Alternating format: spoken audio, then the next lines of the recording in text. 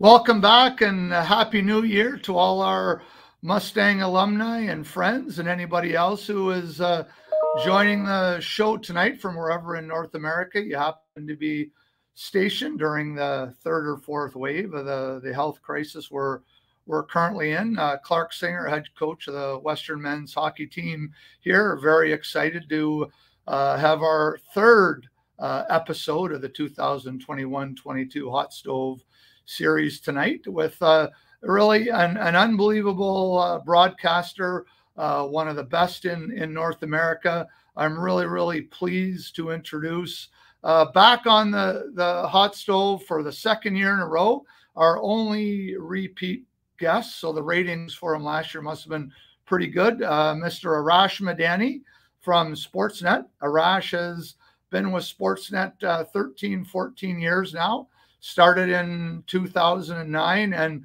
covers a, a vast array of uh, amateur and professional sports for Sportsnet. He's covered some of the biggest sporting events in the world the last few years World Series, um, Super Bowls, uh, Davis Cups, uh, NBA Finals, uh, just a whole host of, of different uh, events for Sportsnet. And uh, last year, I still remember some of his great stories and insight from the hot stove. So, along with our host Ryan Robinson, our uh, communications and uh, uh, director here at Western, we're happy to have Arash Madani on the hot stove again here tonight.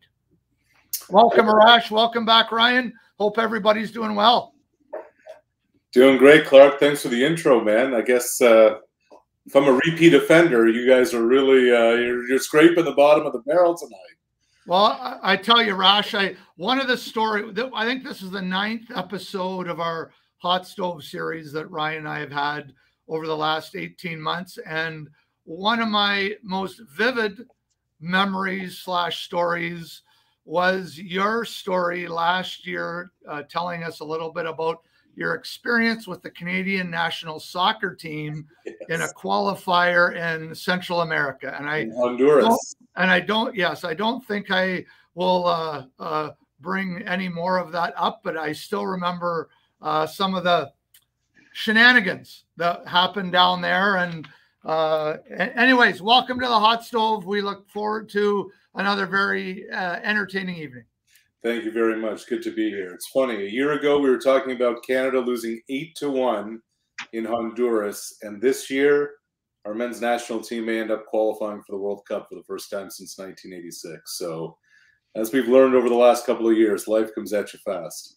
Exactly. As long as they keep playing on the frozen tundra yes. uh, Commonwealth Stadium and Tim Hortons Field, they should be okay.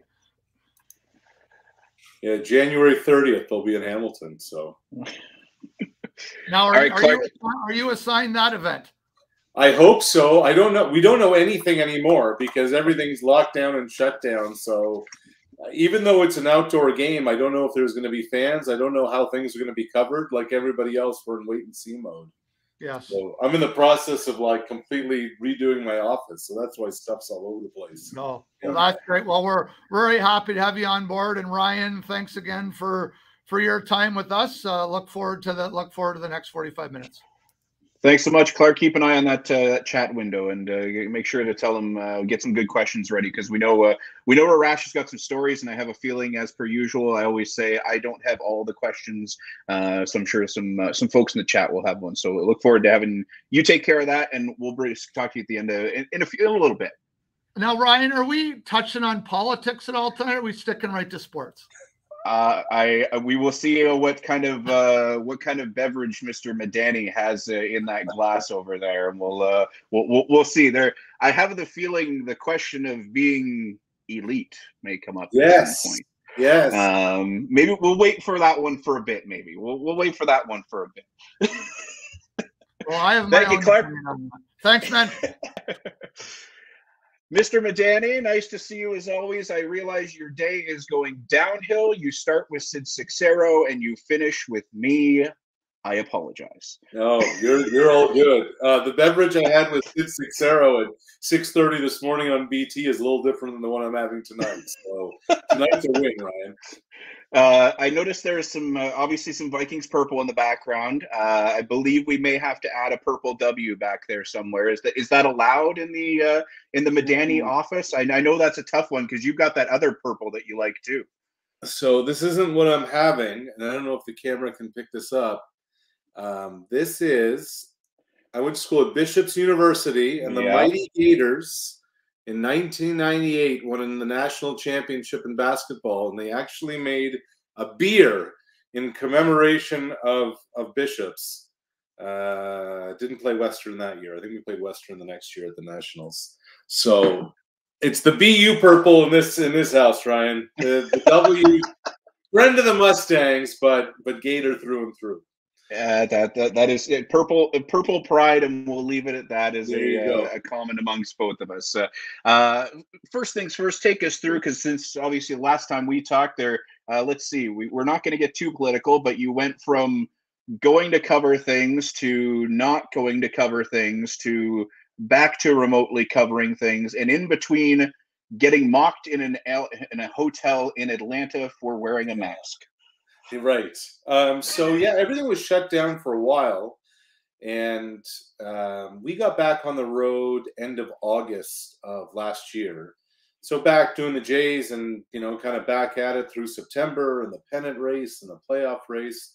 In October, I did playoff baseball. We were in Atlanta and LA and all over the place um, on Atlanta's run to the World Series. And I actually went to Europe twice to do tennis. Canada played uh, World Cup of Tennis Women, the Billie Jean King Cup, and on the men's side in the Davis Cup. And so everything was kind of back-ish to normal. You're still wearing a mask and there's still some protocols, but you, you know, instead of an interview side by side, you're just two microphones a little bit apart. I did the Grey Cup in Hamilton. Everything seemed fine. And then, like everybody else, mid December, um, it all shut down. But yeah, we were in Atlanta doing the NLCS, and I'm just walking through the lobby of the hotel wearing a mask and literally was mocked. I was the only, I think I may have been the only person in the state of Georgia that day wearing a mask. But COVID in America is not a thing anymore, which I guess if you watch sports at all these days, um, we're reminded of that was the Winter Classic day the most kind of? I know a lot of like it looked like January second there was a lot of two NHL games happening at the same time, but one's obviously outdoor, one's indoor, but nobody and an entire filled baseball stadium in Minnesota. yeah, wild, isn't it? You know, even just this week we were just talking about it. Monday night, the Alabama Georgia national championship game. There's eighty thousand people in Indianapolis. And last night's Raptor game, uh, the mascot got in trouble for getting in Devin Booker's face as the only fan, trying to distract him at the free throw line. Um, so it it's just wild seeing. It's just crazy, isn't it, Ryan? Two years in, mm-hmm. we're kind of it feels like we're right back where we started, but here we are. I, are we getting closer to, or is obviously we're just kind of a scenario where you know I, I know a lot of people have said, are we right back where we kind of started, or does it feel like the the runway is going to start coming here in a little bit? Because at least we're still seeing NHL games being played somewhat. yeah, yeah, it's better than it was. I mean, it's so hard to know what's next and and to forecast. Uh, it was a bad sign when the NHLers first didn't go to Beijing when they announced they were pulling out of the Olympics. And you know the Olympics are still going to go. It looks like a, a, friend of mine who's working for the Olympic uh, television broadcast services. Um, he's he's literally flying out tonight to Beijing, so it's it's going to go. But um, it's it, it's just so hard to kind of forecast what's next. I mean, the Super Bowl is going to go. Um, how it's going to go, I think it's going to be you know, all systems firing. But um, at this point, to try and forecast on Canadian soil what's going to happen, I think it's just a guessing game. Uh, the, the, advantage of talking to someone such as yourself, uh, it's the, the, the the plate is wide open, sort of thing. What uh, Clarke actually asked this just before we came on, uh, and I think it might be of, of interest to the, the group at large. But your role is obviously you mentioned it. We're doing the NLCS, then I'll go and do a tennis tournament, then I'll go and do the Grey Cup sort of thing. How much do you enjoy that kind of uh, that kind of smorgasbord effect of and I know kind of talking to some of the you know friends that I have from over the years in the, the kind of broadcast and media side, that's kind of the enjoyment is when sometimes people enjoy that they aren't in the one lane at all times. It's kind of a I'm over here, I'm over here, I'm over here, I'm over here. It's not, nothing's no day is the same. Yeah, no days, and that's that's the thing I really enjoy. I love the variety, uh, variety of sports, be it team sport or individual sports. Um, you know, some leagues have guaranteed contracts and some don't. Some players are just scraping by, and some are living the high life. Um, and I find it really helps provide me with an understanding, a better understanding when I go into different environments on what's you know what to ask people, what their uh, what their perspectives are, and and you know really broadens your. I remember when I was at Bishop's, Jean Charest came and spoke to um, spoke to the school about language, and he said, you know, here we are on this beautiful campus, and right behind me, behind him was this was this you know big window as far as the eye could see but then on the left and the right was just a brick wall. He said, You know, when you look over my shoulder, you see this beautiful campus on a bright, sunny day, and you have this perspective of your campus. But you look to your right, you look to your left, it's just a wall. You have no idea what else is going on. He said, Anytime you learn a new language, that brick wall turns into a glass window, and that brick wall turns into a glass window.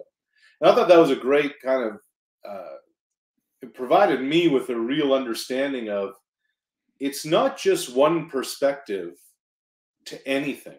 So if I have a, more of a perspective on an amateur athlete, on an Olympian, on an individual pro sports athlete, in team sports, in amateur team sports, in university sports, how they approach things, how they handle situations, how they may deal with a salary cap, where how they approach the trade deadline, the way players think, the way coaches think, the way strength people think, front offices think, the more opportunity you get to kind of go down those roads and and really gain more of an understanding and talking to the people involved, it turns a lot of those brick walls into windows and provides such a perspective and an understanding that helps me do my job better to then inform and and provide a perspective to somebody who's watching and listening and following of, of what may be going on. And I really enjoy that part of it. And it, it really provides a challenge too. Has there been anybody in the last little bit? Because the advantage is, as you said, you, you you're hosting shows on, on, you know whether it be TV, or radio, uh, doing the, the reporting thing on the road. Uh, is the feature story the most enjoyable part of it? The the longer version, the the kind of th- those kind of pieces sort of thing do those are those the ones that stick in your mind or is it the or is it the game coverage or the you know the special event kind of uh, scenario i really enjoy doing the long form pieces i really do but as somebody who is a sports fan first there is such a rush and a joy and a thrill and an excitement of being on the field or on the court or whatever the ice. You know they're about to drop the puck. They're about to have the first pitch. They're about to put the ball in the tee and kick off a championship game or a big playoff game or a big moment. And there you are at kind of 725 setting the scene for a 735 start to something. And the stadium's going nuts there's an anticipation there's an energy and that's what makes sports so great that's why you know as look there's a lot of things happening in the world right now but you know, sport. I think what one thing we've all learned in COVID, between bubbles and empty arenas, is that packed houses make sports it. And playing in front of nobody, it just doesn't have it. It just doesn't bring it.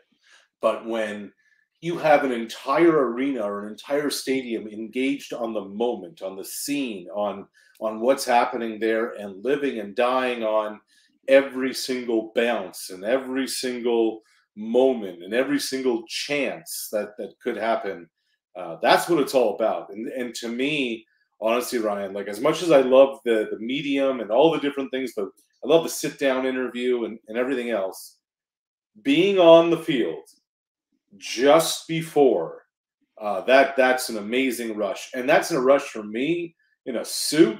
I can I can't even imagine what it's like uh, for a player in that scene. What's been the the events uh, even in that small window of time that you know you, you said you got to go a, a few places sort of thing. Um, you know, having seen the empty arena to maybe going to some of those those bigger venues sort of thing that you know had people again um did it give it that extra emotion that extra feel it's a i know for some people they kind of say oh it's just you know another game it's another event sort of thing but does it add to the effect that you've gone to you know empty scotiabank arena and so on and so forth and then went to back to the the full uh, the full house whether that be in the states or somewhere else in the world?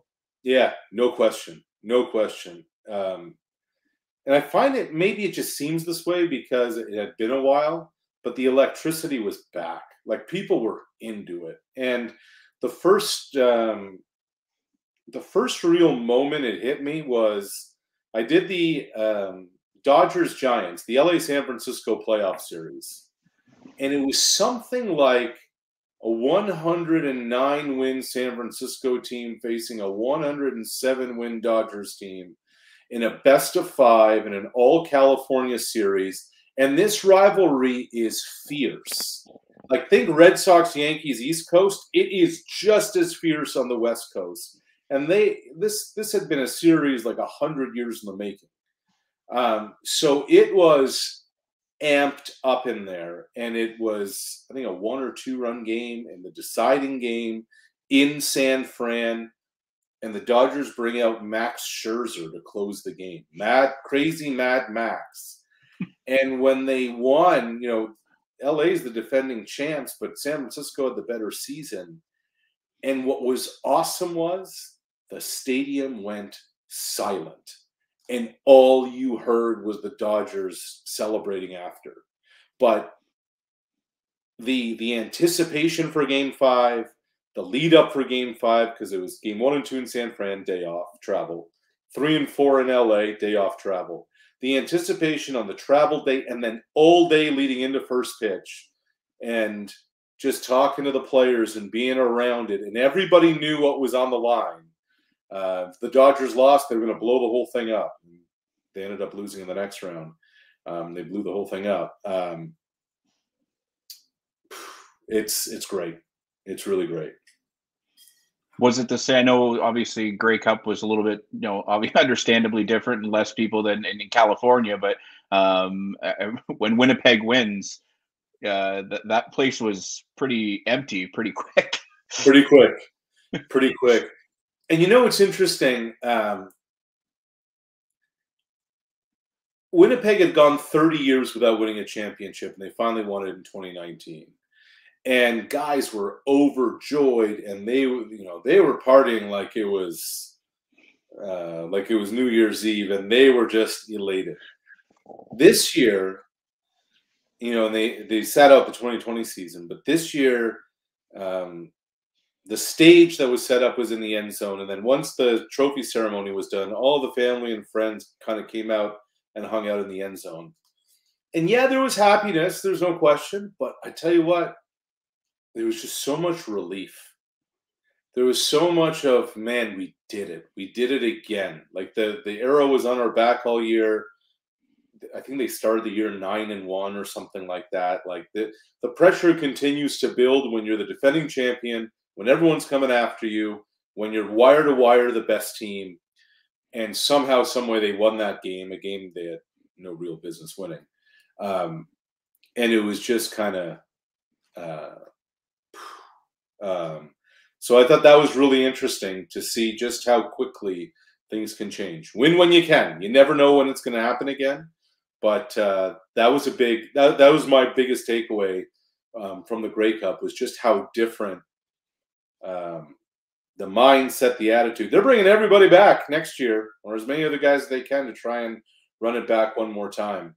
But how difficult it is to win a championship, let alone to win two. I think uh, the the the purple and white aspect of uh, punter Marc Liegghio. We'll, we'll be happy to see him in, in blue and gold yet again. So yeah, um, after the game, actually.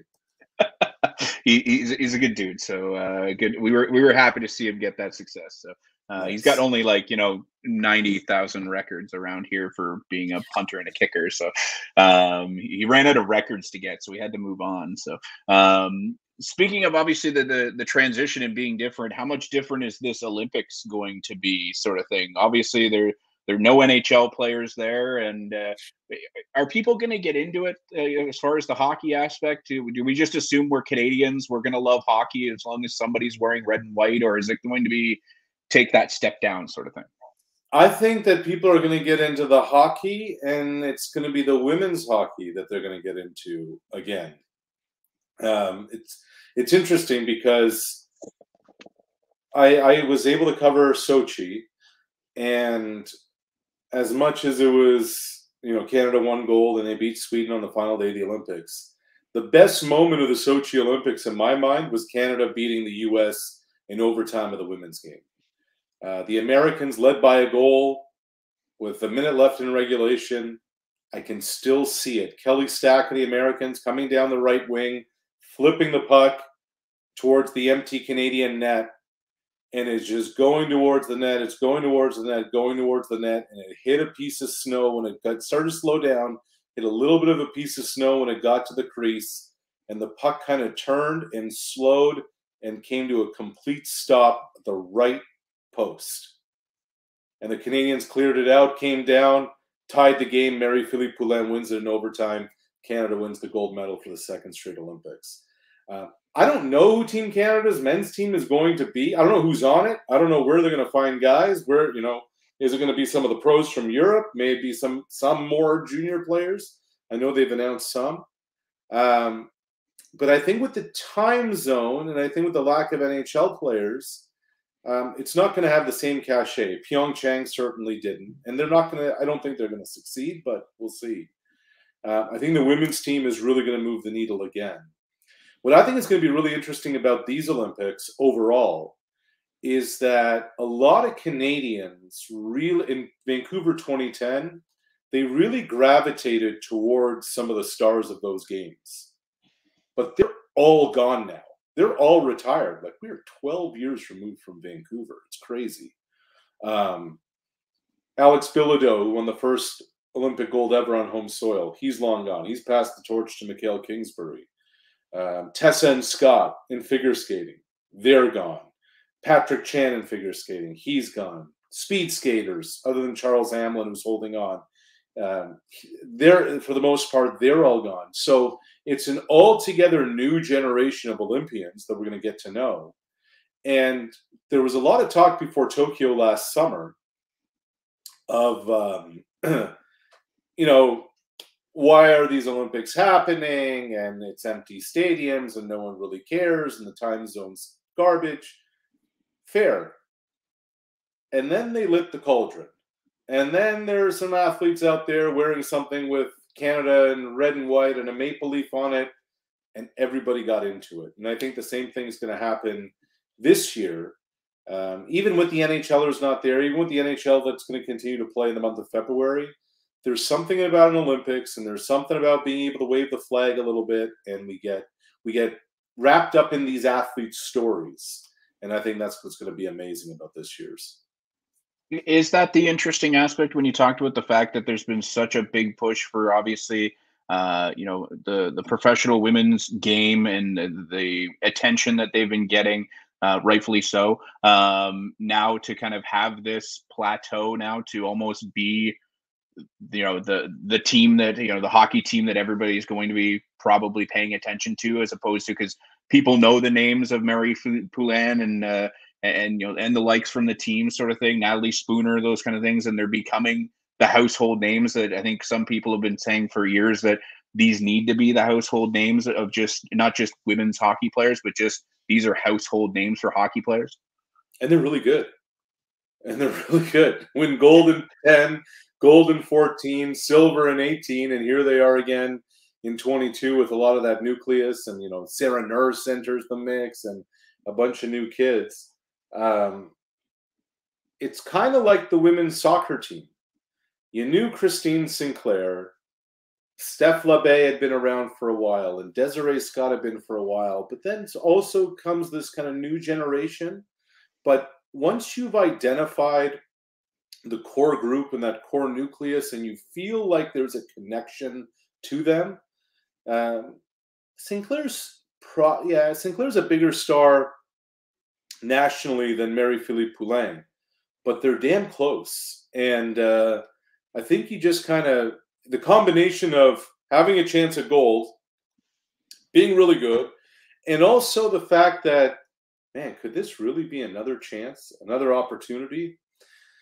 And also, Ryan, there's nothing like Canadians beating the Americans in an international competition. That always uh, that's always a good time too. It light, lights the fire a little bit, and uh, yeah. no matter who it is, sort of thing. So, uh, hockey wise, um, NHL situation this year. Eh, who's been the surprise for you so far? Um, good question. Um, I mean, it probably has to be Montreal. You know, like I, I've mentioned this a couple times already, and, and I sincerely mean this. Win when you can, because you never know when you're going to get back at it. And you know, there's always this thought of, okay, well, they got to the conference final, or they got to the Stanley Cup final, or the Super Bowl and lost. Well, the next year you got to start all over again you don't pick up where you left off. Everyone's even at zero and zero. You know, Montreal hits lightning in a bottle. They they make the coaching change. Carey Price is stopping everything. Shea Weber's they, they they're just they're just rolling along, and something kind of magical happens for a little while. And then the next season starts, and before you know it, the GM's fired, the goalie's gone away, the defenseman's career is probably toast, and now all hell is broken loose. So um, I don't think anybody expected the Habs to be a cup contender again, but they're damn near rock bottom. That that, that happened quick. Uh, Leafs Nation, as per usual, is it just uh, is it literally now at the ever the point where everybody's going?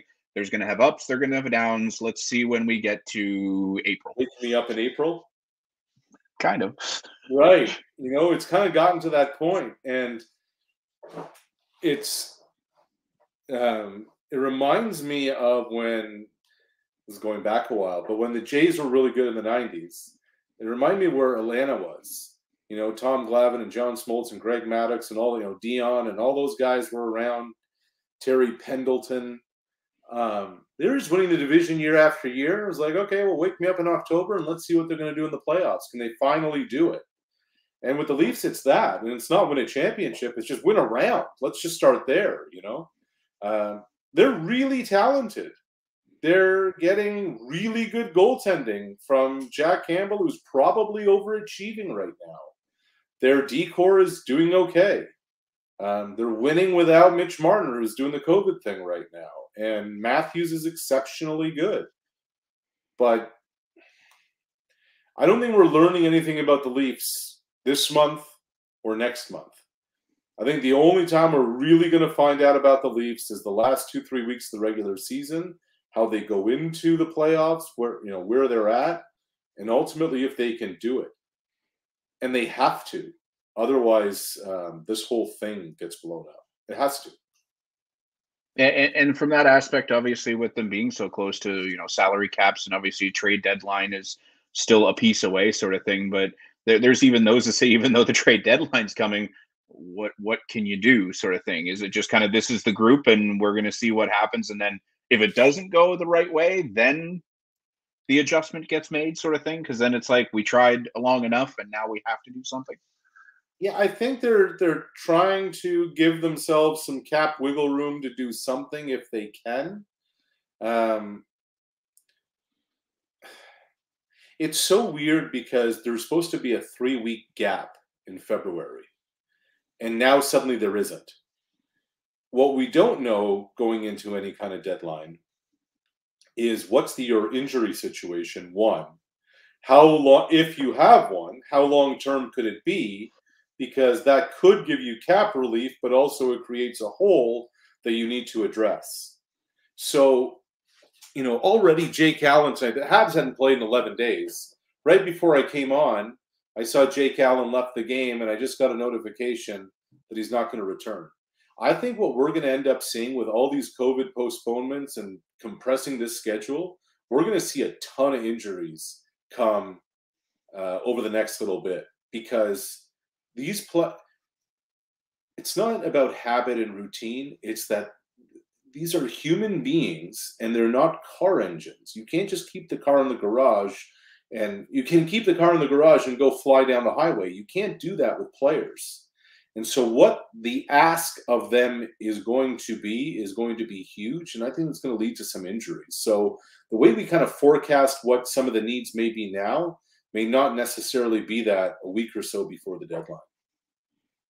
Uh, as far as adjustments and changes across league, obviously the Edmonton Oilers situation continues to be brought up. There was obviously the talk yesterday of a, a potential with Evander Kane. Now today, the announcement of an investigation and that kind of taking a bit of a side, uh, you know, a, a, wait and see approach sort of thing. But um, you know, is there change to happen in Edmonton, or is it, uh, or, or is it a, a different different situation there as well?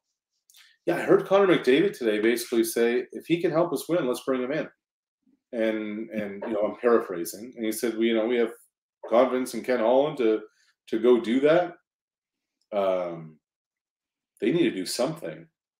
Uh, I don't understand what this investigation that the league is doing. It feels like the league has been coming, and Evander Kane hasn't done himself any favors, but it feels like the league has been coming after Evander Kane for a while. It feels like the Sharks have wanted to part ways with the contract as much as they've wanted to part ways with Kane. The fact that Kane has been so um, vocal about how poor the NHL has been when it comes to the, the diversity alliance and everything that's going on there, I think that weighs into it. I think now that the league and the teams are are partnering with gambling companies. And there was the report and the accusation that Kane was gambling on games. I think any kind of sign of impropriety on that front really has the NHL um, on edge. So I think you kind of add all those things up. There's an apprehension that, you know, from some at league circles, but then there are teams saying, we want to win and he can help us win. And and I think that's something that Evander Kane, excuse me, um, talked about today. And and this is this is pro sports. You know, uh, uh, Connor McDavid said the quiet part out loud today. We win at all costs. Off ice stuff be damned. If he can come in here and get along well in the sandbox with others and, and help us and help us win. That's the pros. People, some people like it and some people don't. Um, but that's the reality of what goes on.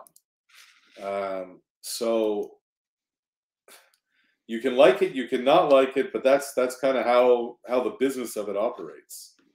And is that obviously you know the the the Draisaitl and uh, and McDavid mentality of we came here, we want to win, and they know the kind of element and what kind of skill they bring to it and they're kind of like we know what we can bring we just need the extra pieces now whatever we're doing isn't working. Hmm. let's go try and do something to, to make this work. Um, look ryan this is what i wonder if the oilers go down the tubes again in the first round this year if the leafs go down the tubes in the first round this year how long, and let's remember the age of Connor McDavid and Austin Matthews and the era in which they're growing up in. Um, uh, the instant coffee, want results, want things my way, etc. How long? The Twitter world. Get me the hell out of here. You know, right now in the NBA, the players are running the show. Right now, Aaron Rodgers in football is trying to have player empowerment be a bigger thing. Russell Wilson's trying to make player empowerment be a bigger thing. how long before one of those two guys, if if what's the definition of insanity? Doing the same thing over and over again, expecting a different result. Um, how long before they say, "Yeah, we're we're done with this"? I don't know. I wonder.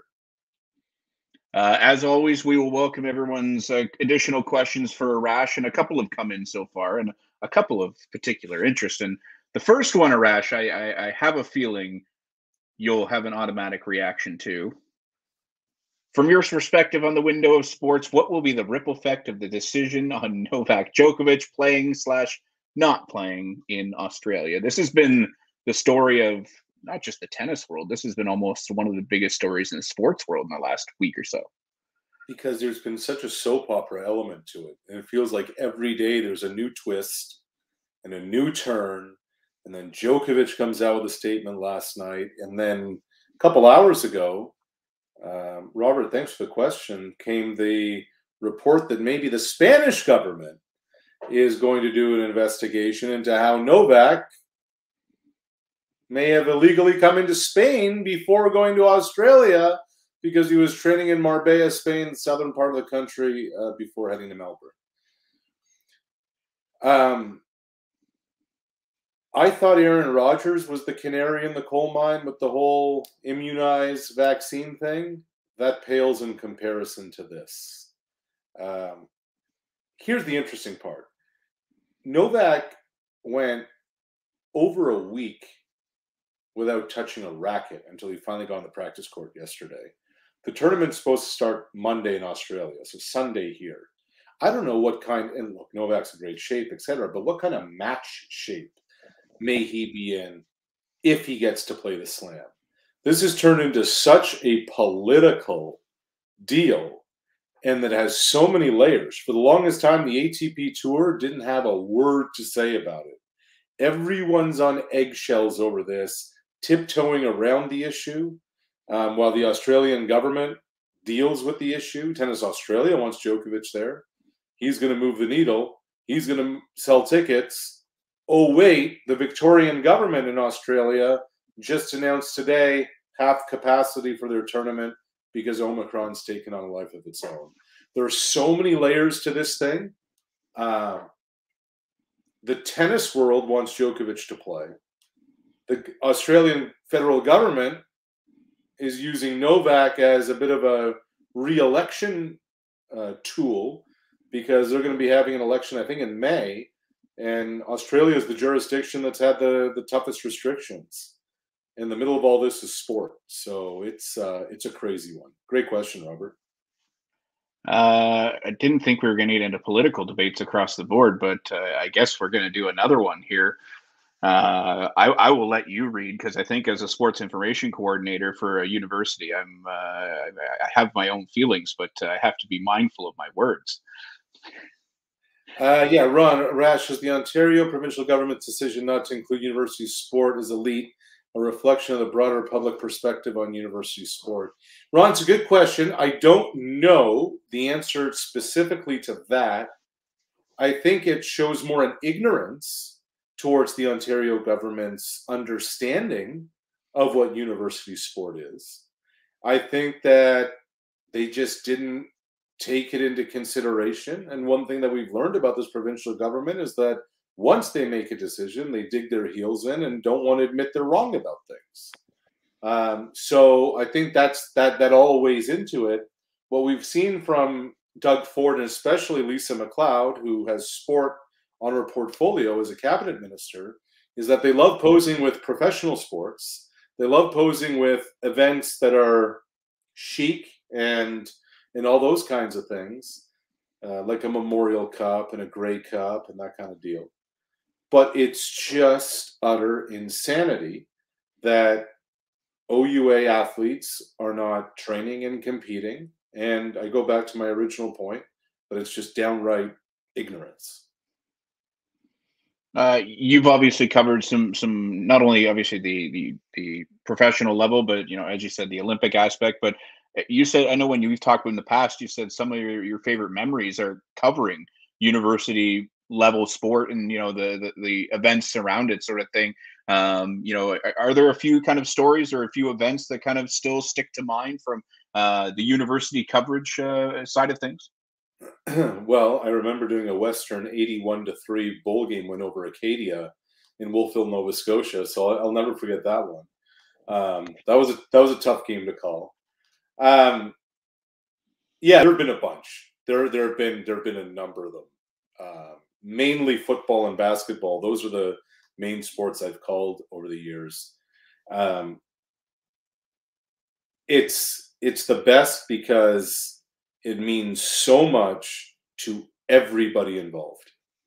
It means so much to the the students, the student athletes who almost exclusively won't be doing anything in as an athlete in sport, competitive sport, elite sport, um, after they're done at school.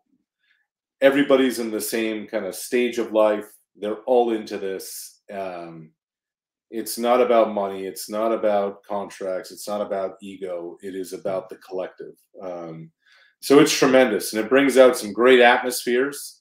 Um, one of the last nationals I did, I think it was in 2019. I think was when uh, Mac, sorry, McMaster, uh, won the women's basketball final eight, and the quarterfinals were Friday, and there were some fans there from Hamilton, and the semifinals were on Saturday, and there were more fans there from Hamilton, and then on Sunday for the final, for the national championship final, the place was packed with people in maroon and and all that deal, and they beat Laval in the final, and it it really was kind of the uniting of a community, and that's that's so much of what sport is, but especially university sport that it's it's not just the athletes, it's not just the school, it's so many people who who have been part of this whole journey that are that are that are there for it, which I think is just awesome, and we need more of. Uh,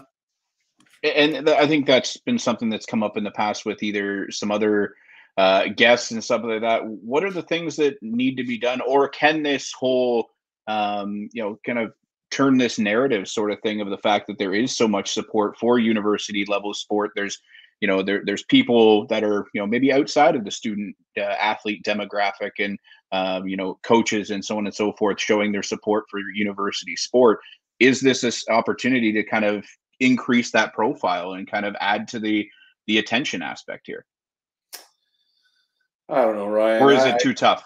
I i hope it, i hope it can be. I just don't know. I, I I see. I I got into university sports when I was like ten years old, growing up in Truro, Nova Scotia, and St. Mary's had a quarterback, Chris Flynn, who was larger than life. He was Michael Vick and RG three before Michael Vick and RG three was a thing, and he was running around all over the place and firing the football 50, 60 yards on a rope, and I'm like, this is the coolest thing and I could never understand. And Husky Stadium would get big crowds, but I could never understand why it wasn't bigger. And here we are, 30 years later, and um, we're still wondering the same thing. Um, I don't know. I don't know. Uh, as we kind of look through, you know, some years we kind of say, you know, when you flip the script to the next year, some people kind of say, here's the story, or this could be the the emerging athletes, or the you know the the the people that we're going to need to know the names of sort of thing as we kind of get into the next year who are those few for you that people are kind of uh, need to be mindful of sort of thing as we get going here in 2022 um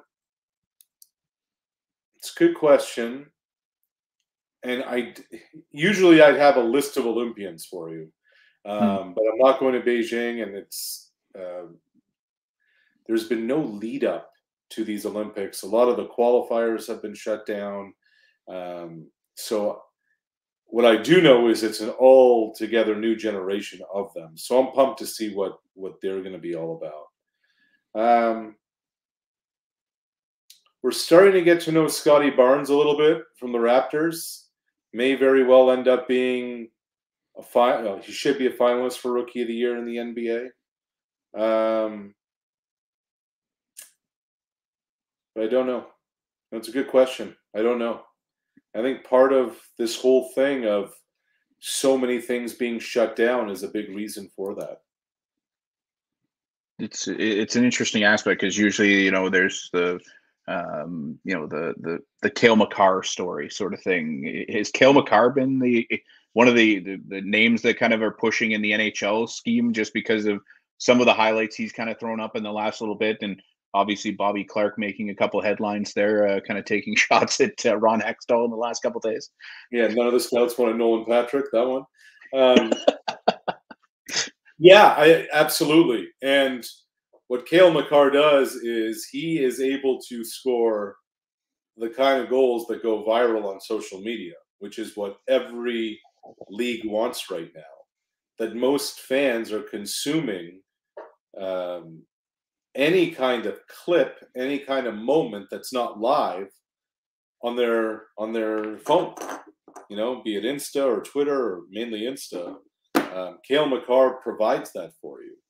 You know, I wanted to say, you know, I think every like if you're a tennis fan, you know who Shapovalov and Felix Auger-Aliassime are. We've known them for a little bit now. Both got to a semifinal of a Grand Slam last year. Leylah got to a final. Um, what's so interesting right now about Canadian sports is that for the longest time we were such a hockey baseball country. Now we're an everything country. Women's soccer just won gold at the Olympics. The men's soccer team is about to qualify for the World Cup for the first time since 1986.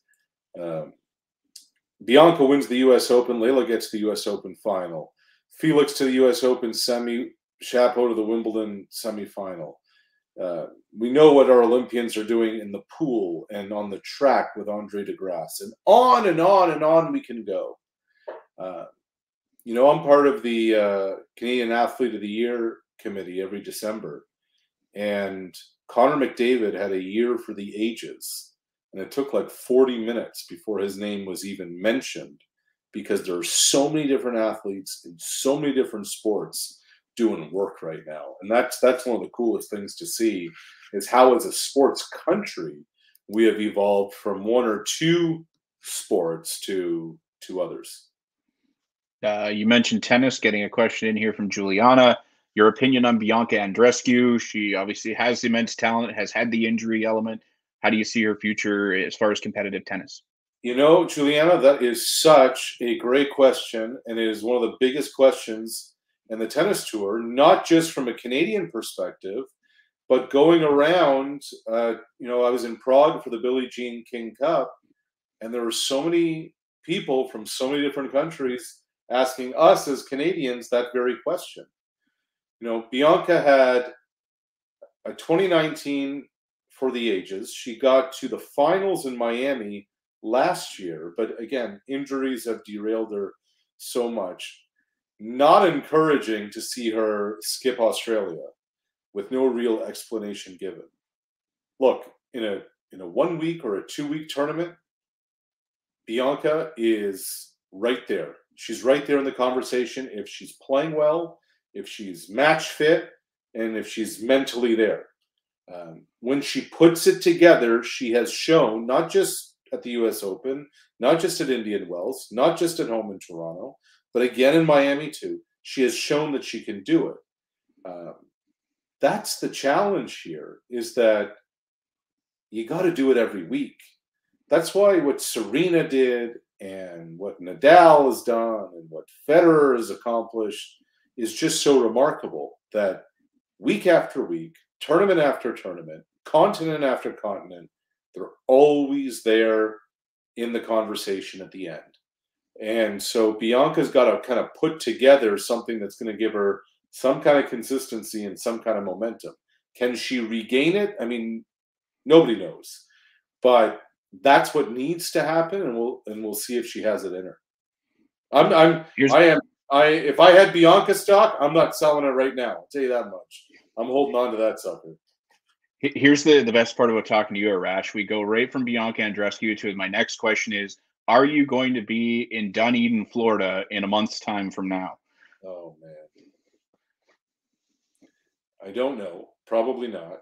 Um, these idiots in baseball just continue to destroy the sport from within. Now, tomorrow, Major League Baseball, like they're having a lockout. Like it is a pandemic.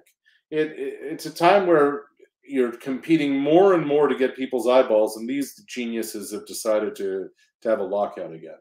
Um, that baseball is going to present the players with some kind of core economic proposal, uh, whatever that means. I think Ryan that there's going to be a delay to spring training.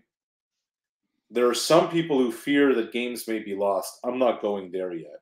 I think it's going to be a condensed spring training.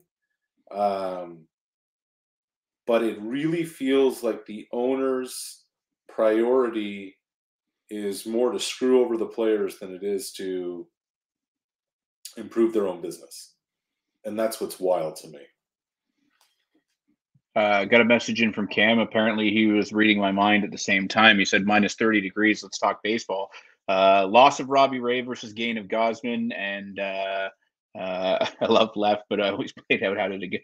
Um, comparisons to middle infield on the radar, and what else do the Jays need to address? Um, okay, so Robbie Ray, they really liked, obviously, Cy Young, etc. But uh, management has loved Kevin Gausman for a long time. He's pitched in the AL East before, had some success with Baltimore coming up, has pitched in October before, just did for San Francisco against the Giants and they feel that Gausman is a one A to Jose Berrios, um, who's going to be the ace of this of this team or ace of the rotation. So there's also more of a body of work.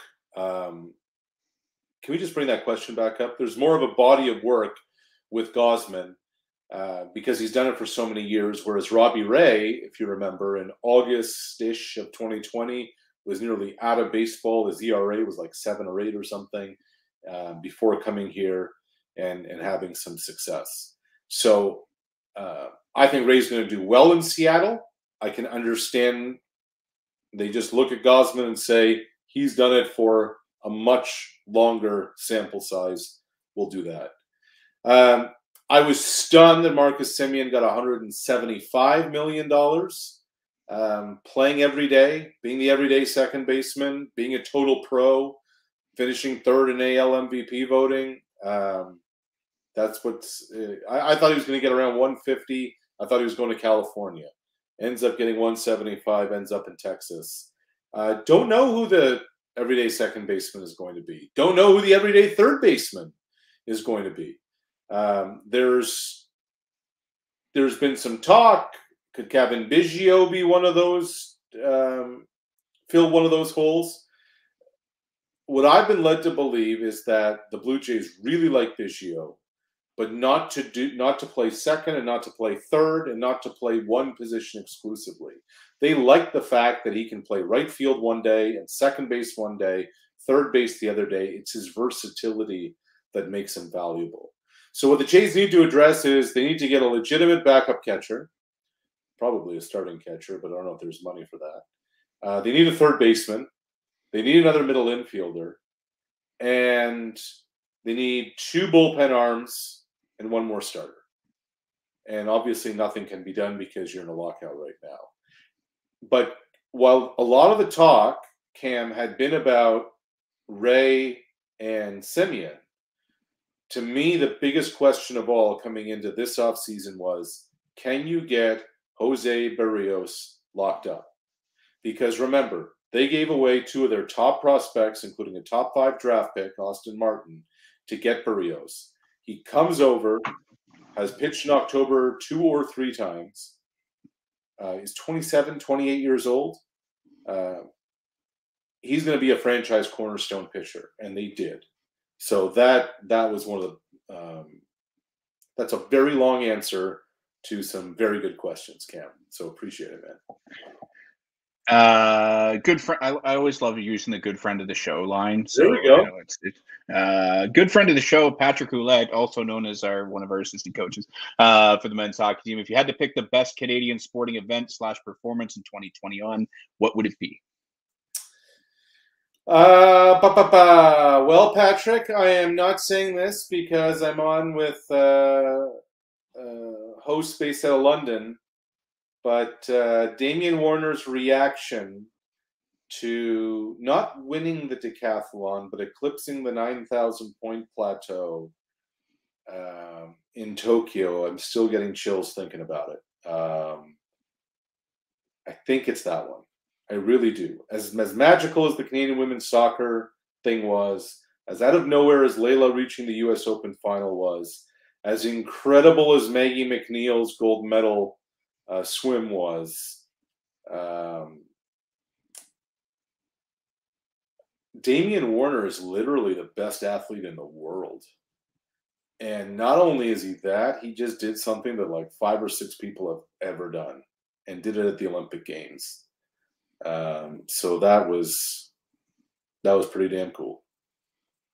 Could it happen to a nicer guy too? Like I, I saw the day that he uh, he won Lou Marsh, and you know some people would be you know, you know up here, down here. Um, you've dealt with so many different athletes and so many different egos that go along with it just is easygoing, humble, like extremely compassionate about everything. It's like, could could these things happen to? Uh, uh obviously, the, uh, we're lucky at the university. He literally trains in Thompson Arena, so we can sure. see him training. Um, but just could it happen to a nicer guy? You, you mentioned you're on that committee to make the selection, sort of thing. Was that, um, you know, you, I know it wasn't unanimous, but it was, had to be pretty, obviously a pretty good eclipsing number of exactly it was that why it was. Yeah, well, it's not why it was. Uh, it certainly didn't hurt.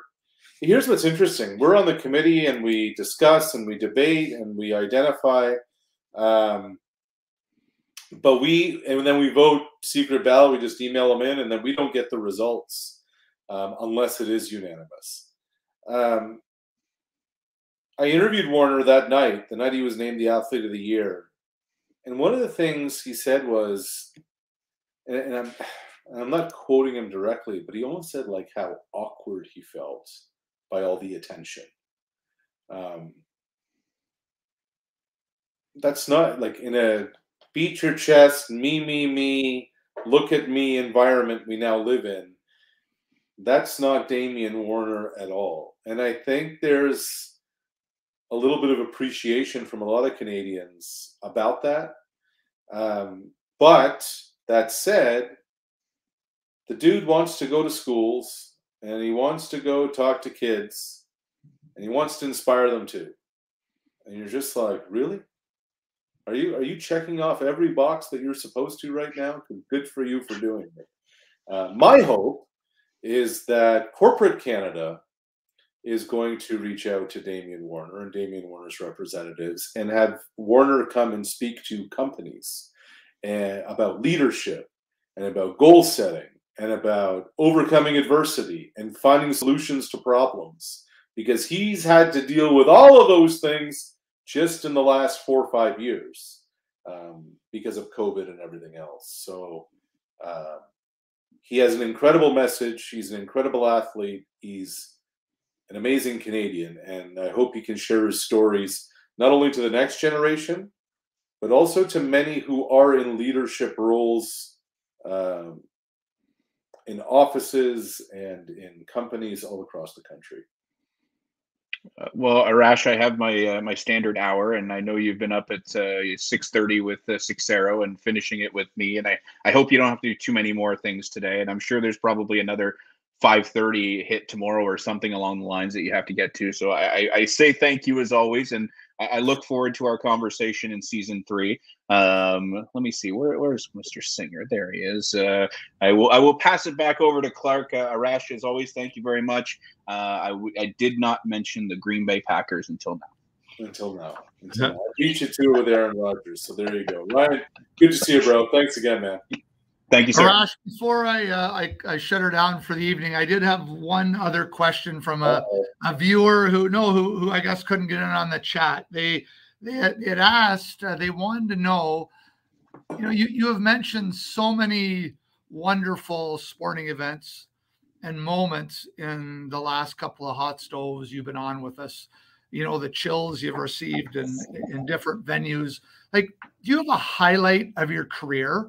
I know that's probably a tough question. You mentioned the Damian Warner chills when he broke the record. You know, I think you were there for the Jose Bautista bat flip. Like, do you have a, a highlight of your career you can identify? Yeah, I would say there's two, Clarke. Um, one was London 2012, walking to Olympic Stadium uh, three, four hours before the opening ceremony. Uh, covering that opening ceremony, I was down um, trackside to interview some of the athletes as they were coming and going, the Canadian athletes.